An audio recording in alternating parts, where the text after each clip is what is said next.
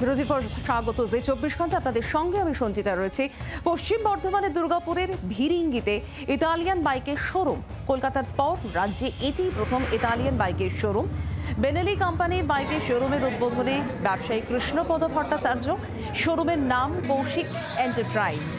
শুধু দক্ষিণবঙ্গ নয়, উত্তরবঙ্গেও এই বাইকের শোরুম প্রথম দাবি কৃষ্ণপদ ভট্টাচার্যের।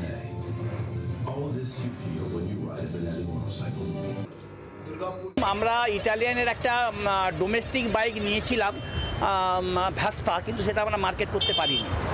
হ্যাঁ যার জন্যই আমরা সুপার বাইকটাকে নিলাম। ভ্যাসপাটা বন্ধ করে দিয়ে সুপার বাইক নিলাম এটা আমরা বর্ধমান, দুটো বর্ধমান, বীরভূম, বাঁকুড়া, পুরুলিয়া মুর্শিদাবাদ থেকে আরম্ভ করে রায়গঞ্জ, মালদা, আট দশটা ডিস্ট্রিক্টকে আমাদের দিয়েছে।